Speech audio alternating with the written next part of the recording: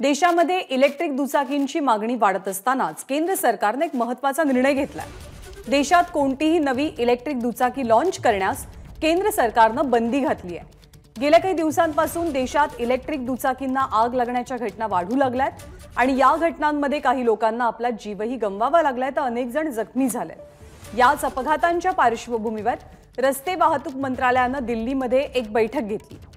यात केंद्रानं इलेक्ट्रिक दुचाकींच्या सुरक्षेविषयी चर्चाही केली.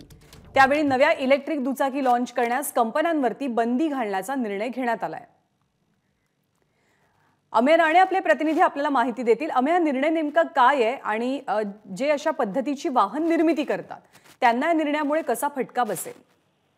एकीकडे इंधनाचे दर वाढत असताना लोकांचा कल हा साहजिकच ई बाईक्स म्हणजे ई स्कूटरकडे वाढत होता आणि ई गाड्यांची सुद्धा मोठ्या प्रमाणात विक्री होते.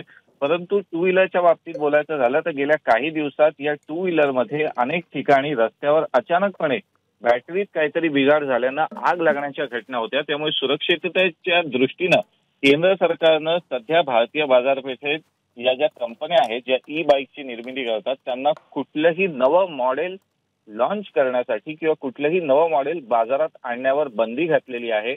मात्र सध्या त्यांचं जे प्रोडक्शन झालेलं आहे आणि ज्या बाजारात विक्रीसाठी गाड्या उपलब्ध आहेत त्यांचीच विक्री ते करू शकतात. त्यावर कुठलीही निर्बंध किंवा बंदी घातलेली नाहीये. परंतु कुठलीही नवीन बाईक सध्या भारतीय बाजारपेठेत आणू नये या कंपन्यांनी असे निर्देश दिलेले आहेत.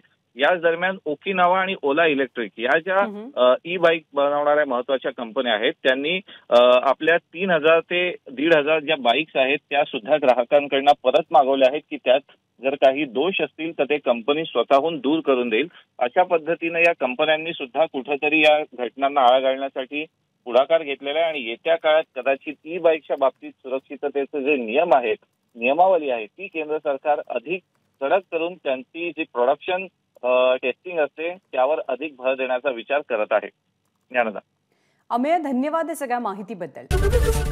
एबीपी माझा. उघडा डोळे बघा नीट.